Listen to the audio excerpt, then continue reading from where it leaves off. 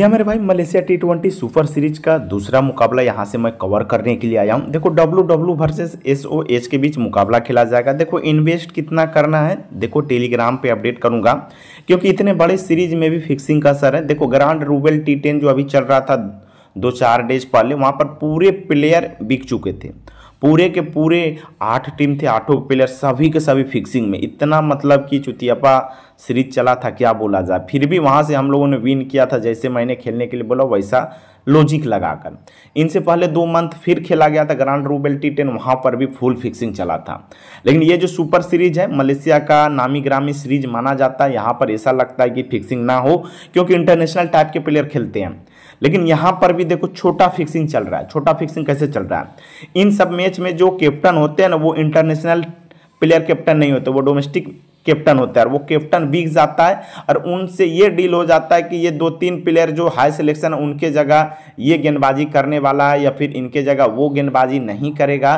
दो चार प्लेयर जो कि इंटरनेशनल प्लेयर फिक्सिंग के घेरे पे नहीं रहेगा। इतना याद रखना, जो भी दोनों टीम का इंटरनेशनल प्लेयर रहेगा, वो फिक्स नहीं रहेगा।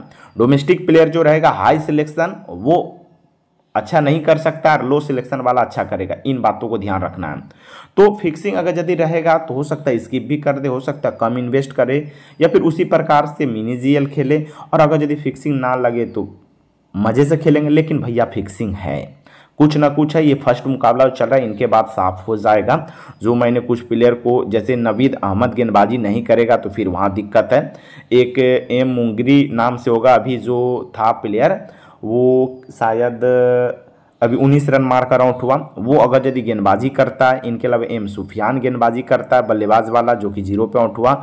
तो फिर 100 परसेंट मैच फिक्सिंग रहेगा। तो वो देखना काफ़ी दिलचस्प होगा। नवीद अहमद पे निर्भर रहेगा मैच। तो मेरे भाई, इस मुकाबले को हमारे साथ सबसे पहले खेल रहे हो तो हमारे टेलीग्राम चैनल को आपको ज्वाइन करना बहुत ज़्यादा ज़रूरी है, क्योंकि वहाँ पर मिलेगा आपको फाइनल टीम। जिस टीम से मैं खुद खेलता हूँ, इनके अलावा जीएल का team. Pitch report, playing eleven यानी एक शानदार टीम बनाने में जितने चीज़ों की आवश्यकता होती है मेरे भाई, सारा कुछ टेलीग्राम चैनल पे ही प्रोवाइड करता हूँ तो आपको ज्वाइन करना किस प्रकार है। जी हमारे भाई, वीडियो के डिस्क्रिप्शन में लिंक होगा या फिर वीडियो के फ़र्स्ट कमेंट जो था, वहाँ पर लिंक होगा। ब्लू कलर में सौरभ सामाजिक चौरासी, उसी पे क्लिक यानी टच करोगे। सीधे हमारे टेलीग्राम चैनल चौवन दशमलव चार के सब्सक्राइबर के आसपास दिखेगा। ये हमारा ओरिजिनल चैनल है, बिल्कुल फ्री में टीम वगैरह हर अपडेट दिया जाता है। तो आप आसानी से फ्री में ज्वाइन करो और फ्री का फ़ायदा उठा के जा सकते हो। मैच में मैंने कुछ लॉजिकल फिक्सिंग के तौर पे मैंने यहाँ पर ये टीम जो दिखा रहा हूँ, ये फिक्सिंग के घेरे पे, अगर यदि ये यहाँ से देखो, ये और ये गेंदबाजी कर गया तो समझ जाना मैच फुल फिक्सिंग है, इतना याद रखना। और नवीद अहमद गेंदबाजी नहीं किया तो समझ जाना भैया फिक्सिंग ही फिक्सिंग है। यहाँ तक सही है, चलिए आप एनालिसिस की ओर चलते हैं। ऐसे मैच में एनालिसिस क्रिकेट करियर, रिकॉर्ड वगैरह वर्क नहीं करेगा। यहाँ पर जो मैं समझाऊँगा, जो फ़र्स्ट मैच में मैंने समझाया, वो वर्क करने वाला है। देखो कैसे वर्क करने वाला है। यहाँ से देखो मेरे भाई। यहाँ से देखोगे तो आपको नज़र आएगा, A Khan Malik. Wicket keeping से असलम खान मलिक है हार्ड हिटर है, छक्के चौके पे डील करता है। सिंगल वगैरह पे दिमाग ये नहीं लगाता, छक्के चौके पे डील करता है। काफ़ी बढ़िया हार्ड हिटर है इंटरनेशनल प्लेयर है भाई मलेशिया का। तो इन बातों को आपको ध्यान रखना चाहिए। अब दूसरा आता है शहीदुल्ला मलिक। क्रिकेट करियर में ये गेंदबाजी करता था, लेकिन अब जो है ये गेंदबाजी करना बंद कर दिया, लेकिन बल्लेबाज काफ़ी प्रॉपर है ठीक ठाक खेलता है तीस पैंतीस रन आपको करके देने की क्षमता रखता है।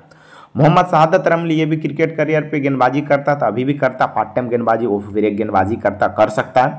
साथ में इंटरनेशनल प्लेयर इनका खेलने का कैटेगरी क्या है भाई? टीम जाए, भाड़ में कहाँ जाए मतलब नहीं। ये अपना स्कोर खेलेगा, सचिन का रिकॉर्ड तोड़ने की कोशिश करेगा। बस इतना समझ लो। गेंदे बहुत लेगा, एक भी रिस्की शॉट नहीं मारेगा, सारे के सारे शॉट नीचे रखेगा। फिर 40 45 रन प्लस हो जाए 50 हो जाए, तब फिर वहाँ रिस्क लेगा। यानी ये अपने लिए खेलता है, याद रखना। पार्ट टाइम गेंदबाजी भी करता है। जमशीद अख्तर एक टाइम पे बहुत ज़्यादा कैप्टन वीसी का प्रबल चॉइस हुआ करता था। अब इन्हें बल्लेबाजी में कर दिया गया, कोई नहीं पूछ रहा है। लेकिन मैं बता दूँ, अगर यदि अपने औकात में आ गया तो भैया कैप्टन बीसी का भी च्वाइस हो सकता है। एक तो चार ओवर की फास्ट गेंदबाजी करनी चाहिए, साथ में ओपन आके हार्ड हिटिंग करनी चाहिए। फिक्सिंग वाले अभी सीरीज़ चल रहा तो वहाँ का रिकॉर्ड अगर यदि देखोगे तो आपको फालतू नज़र आएगा, इसीलिए मैं रिकॉर्ड नहीं दिखा रहा हूँ। फिक्सिंग वाले मैच में किन से जिनको ज़्यादा मौका मिल रहा था, वही प्रदर्शन कर रहा था। वहाँ का रिकॉर्ड देखोगे, पूरी तरह से लॉस हो जाएगा। मोहम्मद आमिर अजीम इंटरनेशनल प्लेयर है। कैप्टन बीसी का बढ़िया चॉइस होगा। फिक्सिंग वाले मैच में भी शायद ये फिक्स नहीं थे। ये अपना काम कर रहे थे और फिक्सर भी इनको ही कैप्टन दे रहे थे। वो भी जान रहे थे कि इनको पैसा से खरीदा नहीं जा सकता। तो हो सकता है ये चार ओवर कंप्लीट करेगा ओपन ओपन गेंदबाजी करेगा। कैप्टन बीसी का बढ़िया चॉइस रहेगा। सबसे बेस्ट चॉइस रहेगा। बढ़िया क्या? मोहम्मद क्वासर की बात की जाए, हार्ड हिटिंग ज़रूर बल्लेबाजी कर लेता, लेकिन इनका मेन काम है मेरे भाई, बल गेंदबाजी। कमाल का स्पिनर है भाई। कैप्टन बीसी सिर्फ़ स्पिन अटैक से आप दे सकते हो, लेकिन इनका एक सुपर सीरीज़ जो अभी कुछ टाइम पहले हुआ था, चार मंथ पहले, वहाँ पर इसका एक इनिंग आया था शतकीय पारी, क्या कर्मा की इनिंग आया था। तो ऑलराउंडर के तौर पर इनको ले लेना। अमीर खान मलिक, एक और कैप्टन, बीसी का बढ़िया वाला चॉइस, यहाँ से देख सकते हो। एक खान मलिक चार ओवर फास्ट गेंदबाजी करेगा, साथ में ताबड़ तोड़ बल्लेबाजी करेगा। तो ये दो कैप्टन बीसी का ज़्यादा बढ़िया चॉइस होने वाला है। वैसे ये भी पूरा नहीं है स्पिनर है। मोहम्मद फैजल लतीफ़ कई बार अपने आप को ऊपर बल्लेबाजी के लिए आ जाता है, लेकिन अभी तक कुछ ऐसा छाप नहीं छोड़ पाया जिससे ये बल्लेबाजी ऊपर आई। गेंदबाज स्पिन गेंदबाज है, काफ़ी बढ़िया, अपने आप को डेथ में भी गेंदबाजी कर लेता है। इन दोनों का जोड़ी काफ़ी हिट होता है, क्वासर और फैजल दोनों हमेशा एक ही टीम पे रहता है। तो दोनों इंपॉर्टेंट रहेगा। रहीम खान मलिक, इनका देखो क्या है, बल्लेबाजी तो ये भी थोड़ा बहुत कर लेता है, लेकिन इनका गेंदबाजी एक्शन जो है ना, राशिद खान जैसा एक्शन है। और ऐसे एक्शन वाले भाई बहुत ज़्यादा विकटे ले जाते थे। रहीम खान मलिक को आप लोग पहचानते भी होंगे, लगभग हम लोग कोई भी सीरीज़ हो इनको पिक करते हैं और कई कबार इनको कैप्टनसी भी दे देते हैं। क्योंकि जिस तरह से गेंदबाजी करता है, तीन चार विकटें भी कई कबार ले जाता है। फिटरी साम ऐसा स्पिनर जो मलेशिया का नंबर वन स्पिनर हुआ करता था इंटरनेशनल का, अभी भी ये बल्लेबाजी कुछ हद तक ये भी कर लेता लेकिन गेंदबाजी बहुत क्वालिटी पावर प्ले से स्टार्ट करेगा गेंदबाजी डेथ में भी आ जाता है। गजब का स्पिन गेंदबाजी करता नंबर वन स्पिनर माना जाता है मलेशिया का। अभी फ़िलहाल टीम से बाहर ज़रूर चल रहा है। इनके जगह पी सिंह अच्छा कर रहे हैं, लेकिन फिटरी शाम पे नज़र रखना। अब यहाँ से देखो इतने सारे इनके बेस्ट है। देखो सबके सब खेलेगा ना, इसमें से जो खेलेगा आप अपने ले लेना। मैं सारे के बारे में बता देता हूँ। अब यहाँ से देखोगे ये हुआ के शहजाद। बल्लेबाजी करेगा आपको, हार्ड हिटिंग करेगा, कई कबार विकेट कीपरिंग की भूमिका में रह जाता है।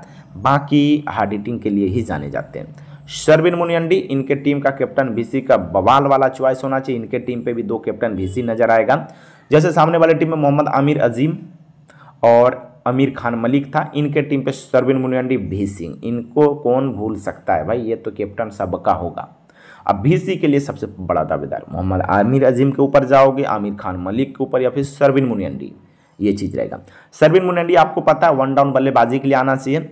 और साथ में गेंदबाजी चार ओवर कर गया तो बहुत हल्ला बोल वाला प्रदर्शन कर सकते हैं। इनका गेंदबाजी जो है ना मनमौजी है। कई बार दो ओवर, तीन ओवर, कई बार गेंदबाजी नहीं करेगा, क्या कर लोगे? कई बार चार ओवर करेगा, क्या बिगाड़ लोगे? ऐसा वाला प्लेयर है। है तो ये भी international player J Murali power play में अर्शतक जड़ेगा या फिर पावर प्ले में घर लौट जाएगा। छोटा कद के हार्ड हिटिंग अच्छा खेलता है। इनसे पहले सीरीज़ में अच्छा खेला था। अभी टी टेन सीरीज़ में फुल फुल ऑफ़ रहे थे। तो जीएल के लिए बढ़िया रहेगा। भी सिंह इनके बारे में ना ही बोले, कैप्टन दे देना आग बंद करके। मुराद अली, इनका भी वही बात है। कितना ओवर करेगा, क्या करेगा, कहना मुश्किल, वैसे बल्लेबाज बढ़िया है। चौथे नंबर या पाँचवें नंबर पर बल्लेबाजी के लिए आना चाहिए। और अगर यदि स्पिन गेंदबाजी ये चार ओवर कर गया तो भैया बहुत ज़्यादा इंपॉर्टेंट रहेगा। लेकिन इनका ओवर का मैं गारंटी नहीं लेता क्या करेगा, नहीं करेगा। कि हामिद, डेथ का बेस्ट गेंदबाज माना जाता है।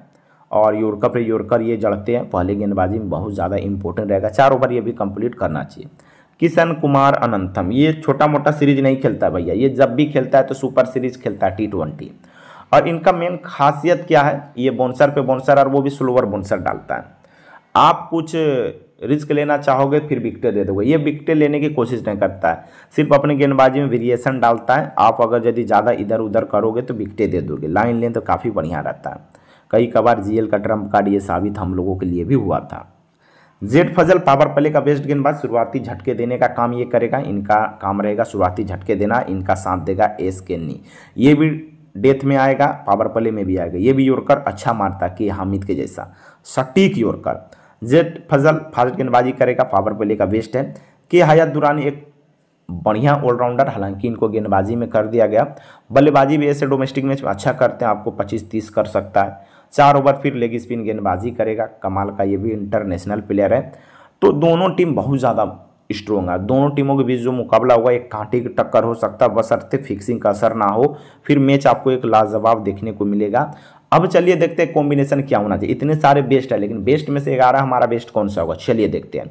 लेकिन इससे पहले यदि हमारे यूट्यूब चैनल को सब्सक्राइब नहीं किया मेरे भाई तो जल्दी से जाकर कर लो। इनके अलावा कुछ जानकारी लेना हो तो इंस्टा पे भी मैसेज कर सकते हो। तो इन सभी चीज़ों को करके रखोगे, आपको लाइफ टाइम फ़ायदा मिलेगा। विकेट कीपरिंग में असलम खान मलिक से बेहतर नहीं होना चाहिए तो नहीं होना चाहिए। एक बल्लेबाज सरविन मुनियंडी आपको ऑलराउंडर मिल रहा है तो ले लो। मोहम्मद आमिर अजीम भी सिंह, मोहम्मद कासर, आमिर खान मलिक अब देखो, मुराद अली के ऊपर मैं सोच रहा हूँ, भाई, मुराद अली गेंदबाजी करेगा कि नहीं करेगा बाद में? कि हामिद डेथ का बेस्ट गेंदबाज है। ए अमन ये भी खेलेगा तो गेंदबाजी करेगा, याद रखना, अभी टी टेन सीरीज़ में भी सिंह की तरफ़ से ही खेल रहा था। अभी बेस्ट मुझे जो लग रहा है उनके ऊपर जा रहा है। मोहम्मद फैजल लतीफ़ की हयात दुरानी, फिर ट्रिसाम रहीम खान मलिक। अब ये देखो लास्ट प्लेयर जेड फजल के ऊपर जा सकते हो। एस के निपली के ऊपर जा सकते पोइल के ऊपर। यहाँ से देखो कि हामिद का भी नाम आता है यहाँ पे, मुराद अली का नाम आता है भाई, बल्लेबाजी सेक्शन एस मलिक के सजाद मोहम्मद सादत रमली, यानी बहुत सारे बड़े बड़े प्लेयर हैं। फ़िलहाल मुझे जो बेहतर लग रहा है, मैं यहाँ से पिक कर रहा हूँ। इसमें से सारे तो खेलेगा नहीं। इसमें से जो नहीं खेलेगा, उनको टीम से निकालेंगे, जो नया बेस्ट प्लेयर है, उनको टीम में डालेंगे। देखो कैप्टन सब लोग, मोहम्मद आमिर अजीम के ऊपर गया, बुरा नहीं है भाई, जाना भी चाहिए। लेकिन भी सिंह से बेस्ट मुझे तो कोई नहीं लगता तो मैं भी सिंह को कैप्टनसी दूँगा और भी सी मैं मोहम्मद आमिर अजीम को देने वाला हूँ। इनके अलावे भी कैप्टन सी का अदर चॉइस ये आता है। ये आता है। ये तो काफ़ी बेस्ट आता है भाई। उसके बाद थोड़ा लो में ये आएगा। ये आएगा। ये भी आएगा। तो ऐसा फ़िलहाल के लिए क्या करो मेरे भाई, ये टीम सेव कर रखो। इसमें जो भी चेंज होगा आपको अपडेट कर दिया जाएगा। कहाँ? अपने Telegram channel domestic playing eleven पे। तो आशा करते हैं भगवान की कृपा से हम लोगों का रिज़ल्ट अच्छा जाए। आप लोग भी भगवान से यही दुआ करो।